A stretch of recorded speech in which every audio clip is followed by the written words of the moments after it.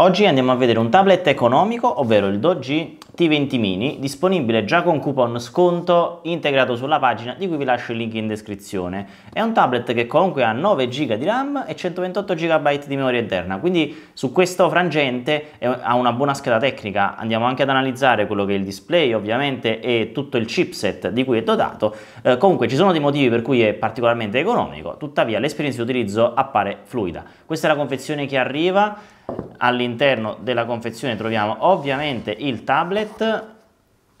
che andremo a vedere da vicino e poi all'interno troviamo il manuale di istruzioni con la clip per la SIM perché questo tablet può effettivamente ospitare fino a due SIM con tecnologia specifica LTE eh, sistema ibrido dual sim e poi all'interno abbiamo una delle motivazioni per cui appunto il prezzo è contenuto perché la ricarica è a 10 watt quindi il caricatore è un caricatore standard e abbiamo un cavo USB-C USB-A che ovviamente ci serve per fare la ricarica. A parte questo passiamo ovviamente al fulcro di questa recensione. Il tablet a sé stante che ha un form factor molto interessante che lo pone effettivamente in un ottimo range di prezzo. È già stato settato, vediamo che si abilita rapidamente, rimuoviamo la pellicola protettiva, o meglio la parte di protezione della pellicola già preapplicata sullo schermo e a questo punto andremo quindi a ragionare sul display vero e proprio.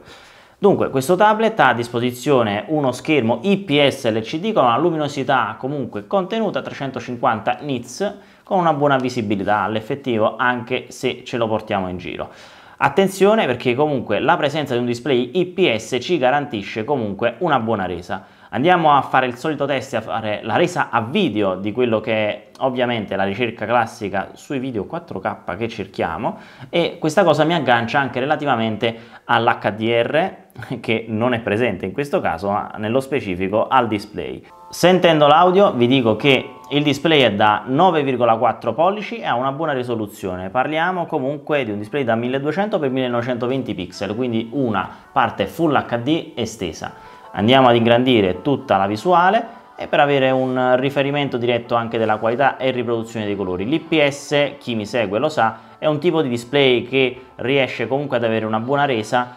soprattutto proprio per la parte dei colori che appaiono più naturali e anche più carichi. Effettivamente chi mi segue sa che preferisco questo tipo di visualizzazione. È un buon pannello all'effettivo, lo stiamo vedendo anche reso in camera, eh, di buona qualità a fronte sempre del prezzo prezzo va anche in funzione di quello che riguarda il chipset, il chipset è un ISOC T606 che di fatto ha a disposizione una CPU octa-core, il processo produttivo a 12 nanometri, quindi non è l'ultimo processo produttivo, ha comunque delle buone prestazioni, lo stiamo vedendo utilizzato in scenari di utilizzo abbastanza semplici per il momento, ovviamente facciamo anche il test relativo a quello che riguarda la navigazione, posso andare a cercare eh, i tassi non è il caso, andiamo su Repubblica come sempre simulazione nell'ottica del giornale e andiamo a vedere come ci carica direttamente in Chrome tutto il quotidiano. Di fatto il caricamento è buono, ci permette di vedere tutte le notizie in modo abbastanza rapido. Effettivamente la navigazione per questa fascia di prezzo comunque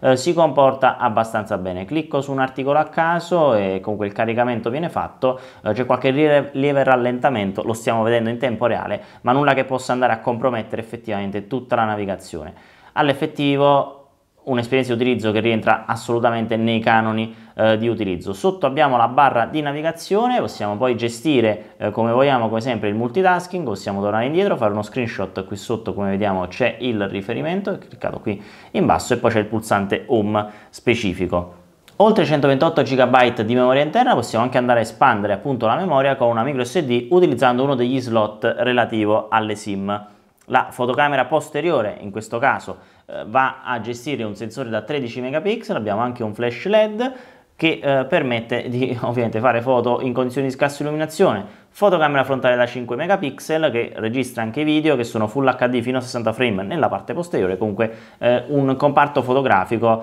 che permette di fare foto molto semplici ovviamente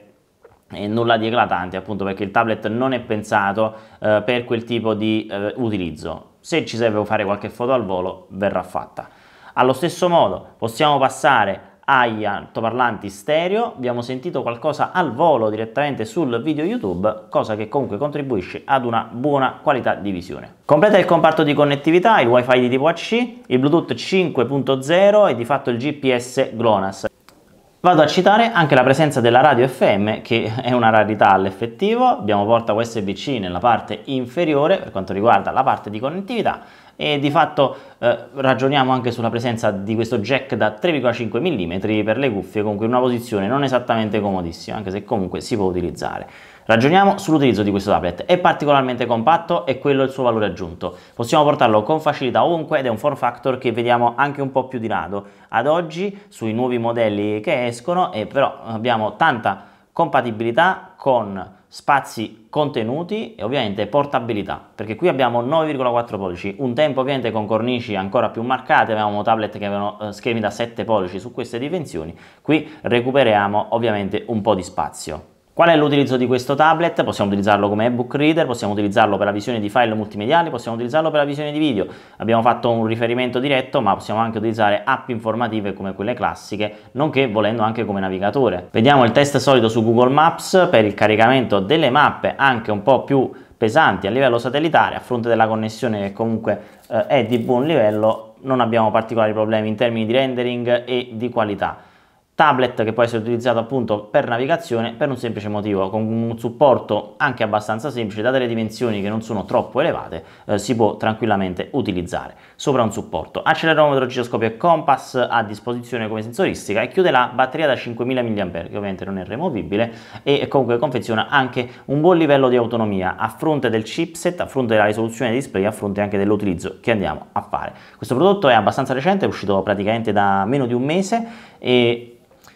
per il prezzo a cui si trova, appunto, vi esorto a guardare il link in descrizione con annesso coupon, siamo poco sopra i 100 euro, nel momento in cui sto registrando appunto non andiamo troppo oltre questa cifra, eh, trovare un tablet comunque con schermo IPS e con una fluidità bene o male gestibile non è assolutamente semplice. È un prodotto che va valutato se abbiamo un budget estremamente contenuto per un tablet, perché effettivamente neanche con uno smartphone eh, andiamo ad acquistare allo stesso prezzo qualcosa di effettivamente concorrenziale o comunque di quantomeno utilizzabile sul breve periodo. Di conseguenza il prezzo che Doji ha inserito effettivamente non è male. Il multitasking è gestito abbastanza bene, 4 GB di RAM che permettono comunque anche di passare da un'app all'altra, lo abbiamo visto in modo abbastanza fluido e riprendere la visione là dove l'avevamo lasciata visione o lettura o comunque interazione eh, che dir si voglia. È un tablet che dunque vi esorto a valutare, in descrizione di là dei link lascio anche qualche approfondimento, troverete tutto pubblicato appunto sotto al video, fatemi sapere voi che cosa ne pensate,